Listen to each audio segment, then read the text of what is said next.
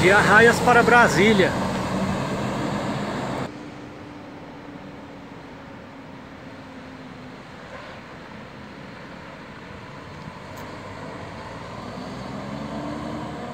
De Goiânia para João Pessoa.